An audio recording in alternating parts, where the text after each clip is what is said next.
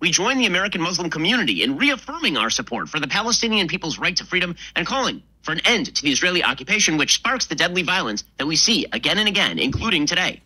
On October 7th, before any Israeli response at all, CAIR also called for an end to American aid to Israel and the Abraham Accords. Fuck this gay shit. I'm gonna go watch Shrek. Let's watch it right Uh, now. Dude, I'm fine. Uh, yeah, I'm I'm Sh- I'm Shrek, dude. I'm Shrek. I'm. Shrek, I'm just watching Shrek. I don't fucking. What an awful world. It's beautiful outside. That's the worst part. Is this is happening during the fall, when it's beautiful. it's ruining fall. There's a beautiful world we Yeah. live in. Do you want to go to Union earth. Square and get a piece of fruit? Um, what kind of fruit? I don't know, just like a nice apple, maybe. I'm like sweating too much, and we're only 20 minutes into this. no, we're not. Yeah. Shut up. Yes. Ginsburg. Fifty. Mm-hmm. Um, yeah. No, we- there was last week was a lot of nervous energy around the studio getting this episode out and stuff, and I'm really glad that it's out now. Well, I don't know. I'm having my own kind of. I'm having a rough time lately. I know. Um, so that just What is it? It's yours. It's your special. It's just like No, it's it's it's uh it's a lot of things. I mean, I like truth be told, this stuff does like affect me. You know, you can like read it a lot, but Well, that's what I was saying. Is like you go through an entire human lifetime. For most, ninety nine point nine percent of people, you never see an image of a dead child.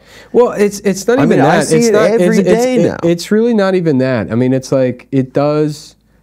Like the, I mean, the reality is, it's like, yeah, the the situation there has appeared to me my entire life to be this, like an unjust, Unjust. unjust situation. Yeah. You know, you learn all these things about, and yeah, yeah all, uh, like America's sordid history, how we came here, how we killed all of these fucking people or whatever, and you know, slavery and how we're how Yeah. the story uh, uh, from an American perspective is one of us trying to correct this long-reaching history of just. Uh, you know how people haven't been treated fairly, right? And then, you know, there is this this one example that we fund that we pay for.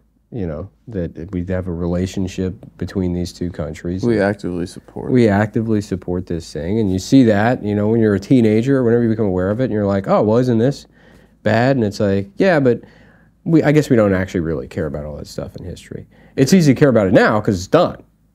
It's over. You know, you're gonna be like, ah, wasn't that terrible? What happened to the Native Americans? Well, ah, shucks.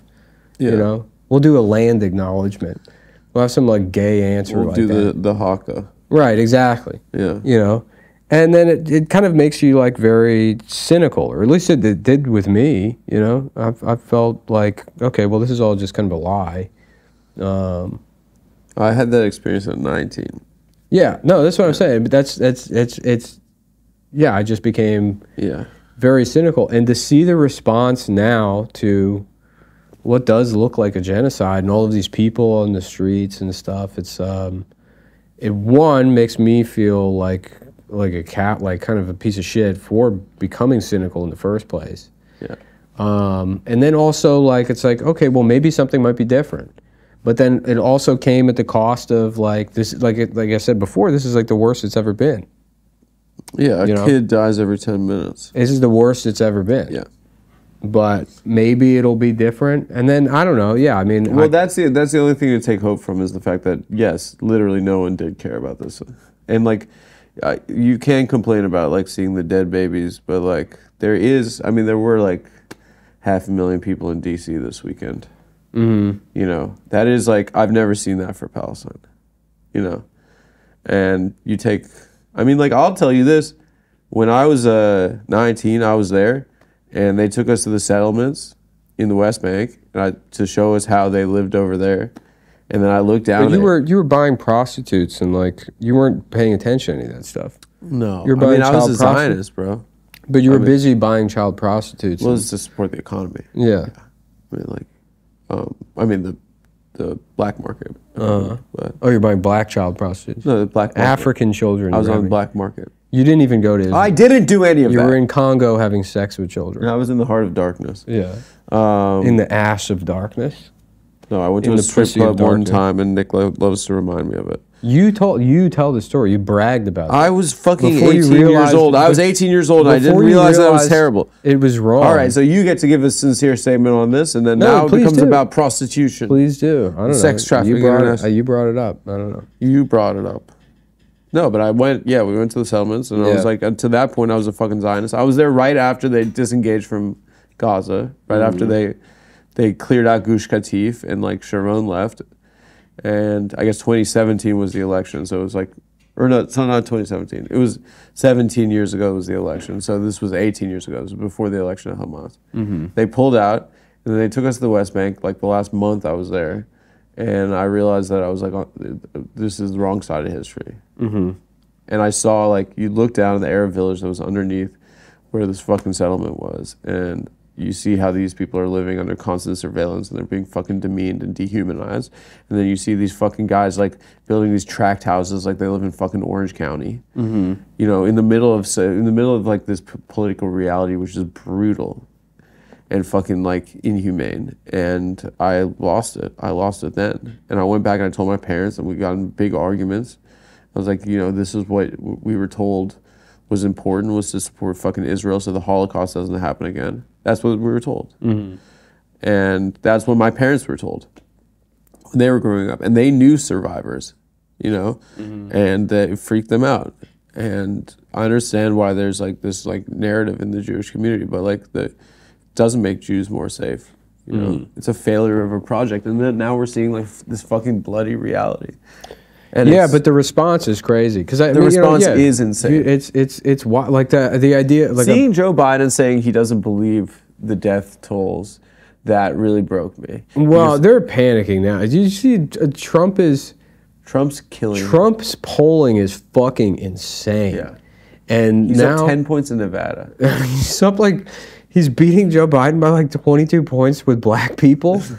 it's like fucking insane. Yeah. He has like this massive, and it's like you know, I mean, the libs are gonna do the whole like, uh, uh, excuse me, but the other option is worse. It's time to just fucking. But that's you know, I don't know if that's gonna. Keep, it's not not, gonna this work. time. Not this time. Not with like you know. It's, not just- gonna work anymore. Yeah, the best you can hope for is that they don't spitefully, people don't spitefully vote for Donald Trump at this point. But Well, or that they get him in jail or something. yeah, Yeah, I mean it's it's just it is does feel like a chaotic reality, and that doesn't help.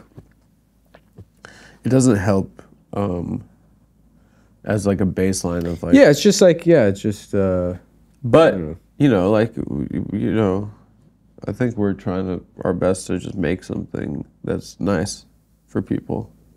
well, let's thought that not people would be- let's let's not do that. I'm not doing. let's that. not let's not elevate the Adam Friedland show to being no, the I'm not this- panacea for fucking No, no, no. the it's- crisis isn't it Gaza. panacea? Whatever it is, No, no. It's this has is it nothing to do with that. panacea? Is it panacea? Panacea, yeah, I thought it was like a No, no. This has nothing to do with Gaza.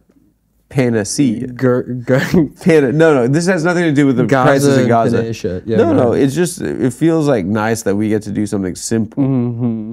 No, it's just on a personal level. It has nothing to do as a response yeah, to Gaza. you know, it's it's tough out there, but at least we're making something that uh, that just makes it okay for people. You know, you're fucking psycho. at least, at least you know. It lived for, for, if it were for guys like us, I bet it would suck pretty bad to be a fucking Palestinian baby. I- hopefully they can. Hopefully they can get one of those generators No, plugged into a a, laptop, that so it- that all those all those kids in Gaza life- can check out our life- interview with Dave Portnoy. No, it has nothing to do with the audience. It, it's just talking about that I feel lucky that I get to do this kind of shit. Oh, okay, all right. It has nothing to do with Gaza. But I wish that the people in I mean, Gaza. yeah, I look, wish dude, that I wish that the people I'll in tell you- Gaza I'll- would I'll watch the I'll new tell you- episode you of know what- Adam you know what show. makes me and maybe feel- it'll bring them a You know what makes me feel better is watching Shrek. Yeah.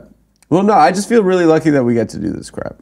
I do. Yeah, but that has no, nothing to do with. No, no, I'm just saying it's a horrific world, and a lot of shit makes you feel terrible. Makes me feel terrible, Mm-hmm. and I feel really lucky that I like we're in a like very fortunate position right now. Yeah, and then and then then all that time of We have a lot of friends in comedy cyn- that aren't in this position cynical and about. are very talented people. it makes it hard to be sincere if you've been cynical about these things for I know. for so long. I know. but it is. I It's like struggle yeah, with that. I fucking struggle with that. It's like it feels in, like I don't want to like also too being in the position now where we make like a decent amount of money. It's like you know we pay taxes, and it's like yeah, that's where it's. I going. can do the math. I can do the math. I know I've paid for at least one of those bombs.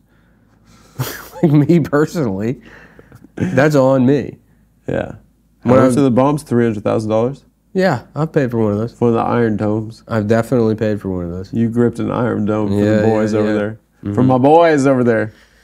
Um. Anyway, guys, listen. We love you. You Me feel- love you. Did you see that Obama saying uh, that there's, you know, he's like, oh, there's, uh, well, you think about it. Um, Obama actually, I kind of like. there's blood on all of our hands. I mean, that was probably one of the most honest things I've ever seen him say. It's not blood on my hands.